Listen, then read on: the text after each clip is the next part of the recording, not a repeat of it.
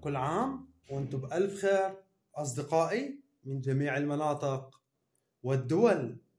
سنقرأ لشهر خمسة مايو أيار عام 2024 سنقرأ للبرج صاحب الشخصية المميزة جدا والرائعة ولديه ابتسامة كالسحر قادر من خلالها كسب القلوب الأشخاص اللي حوله.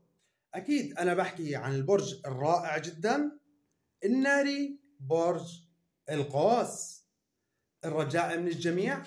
اللايك التشجيعي والأشخاص الجدد على القناة ما ينسونا بالاشتراك.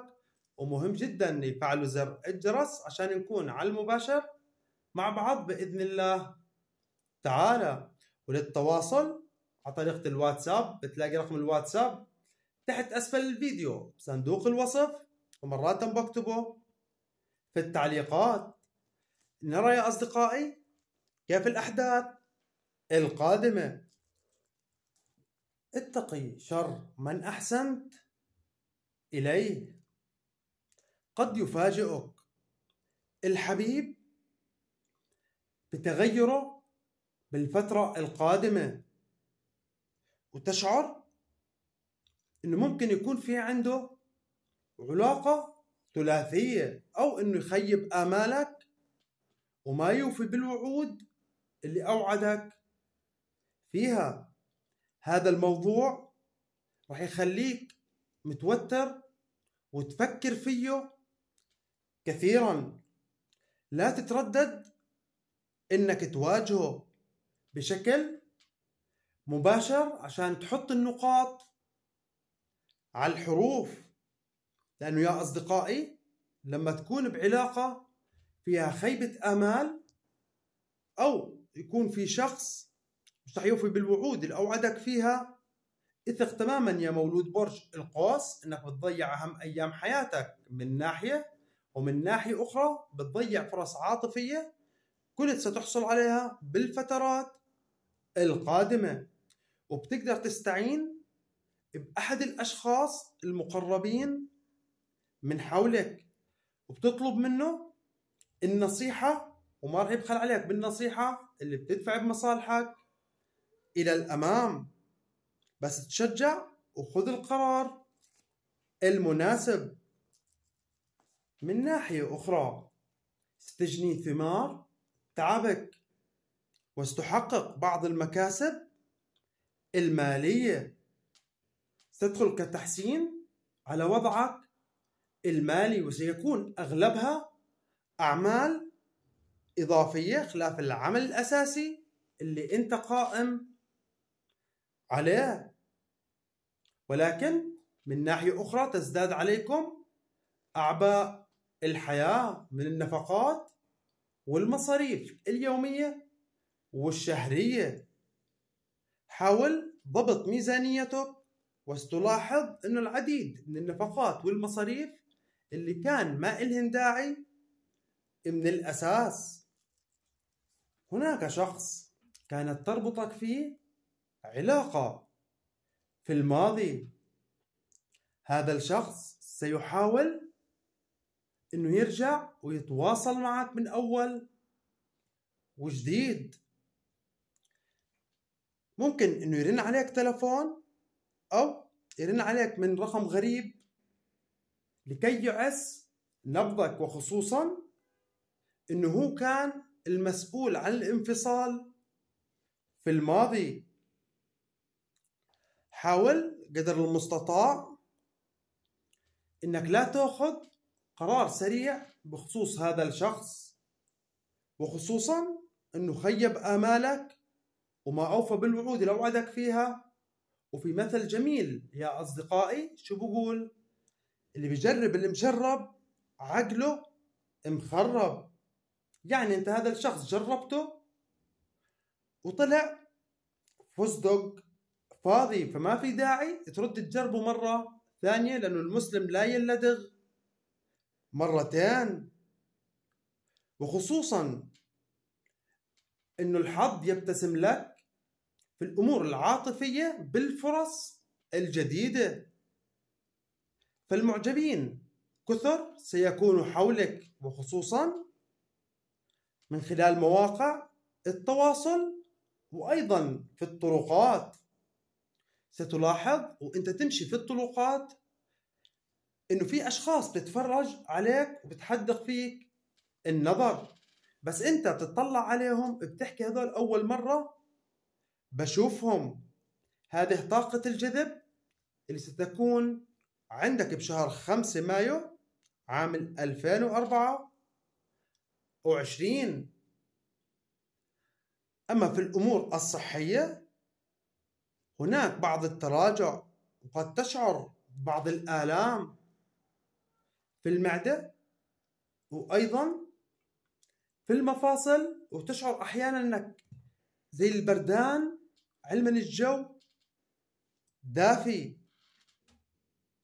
حاول قدر المستطاع أنك تكثر من قراءة القرآن الكريم والاستماع للرقية الشرعية لأن هناك شخص ينصب لك المكائد والحيل وما راح يتوانى انه يقوم بأعمال ما خلف الطبيعة مثل الأعمال السفلية والأعمال السحرية.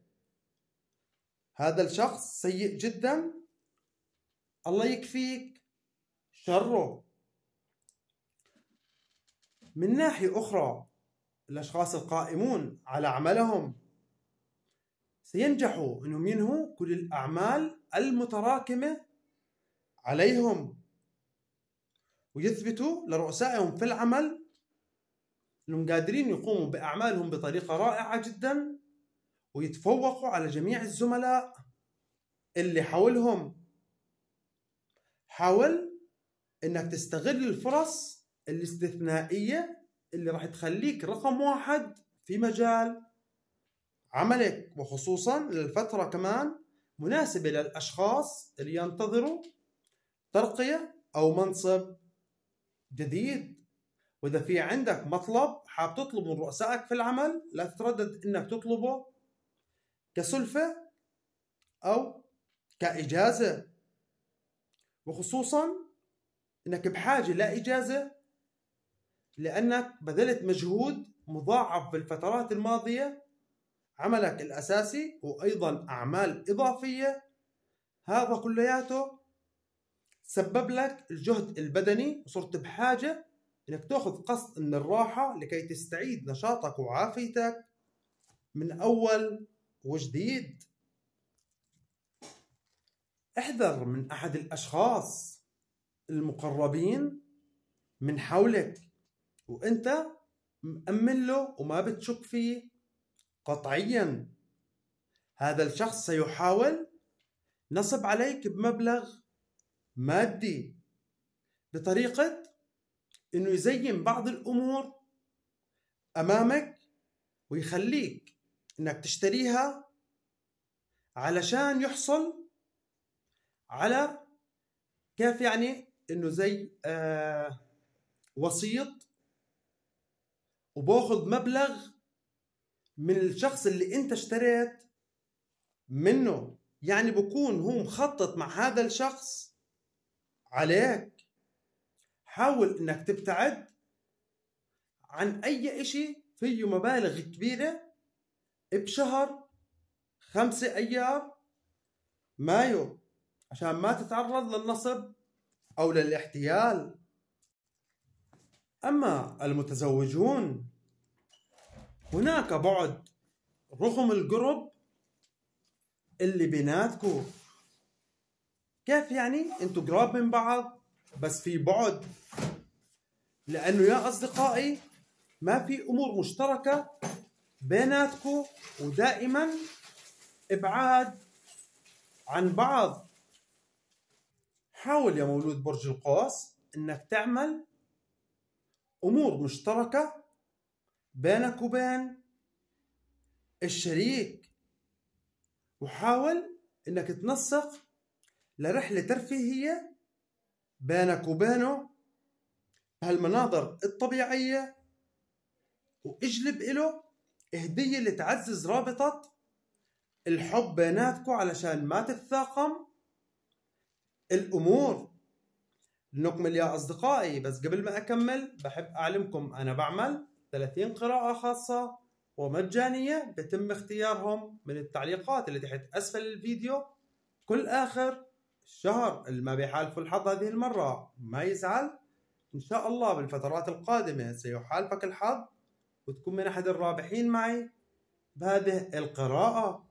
أما الأشخاص اللي تربح معي قراءات خاصة. القراءة عبارة عن كشف كامل روحاني عاطفيا ومهنيا وتوقعات الأشهر القادمة بإذن الله تعالى. إذا في موضوع معين أو مشكلة معينة أو متعرض للحسد أو السحر أو الأعمال السفلية بنتناقش فيها بشكل مباشر. وبإذن الله تعالى بنلاقي لها حل. لكل داء في بإذن الله تعالى. الدواء الشافي. كل الحب والتقدير لكم يا أصدقائي وإن شاء الله القادم سيكون أفضل وأفضل بإذن الله تعالى. بتمنى لكم الحظ السعيد من كل قلبي.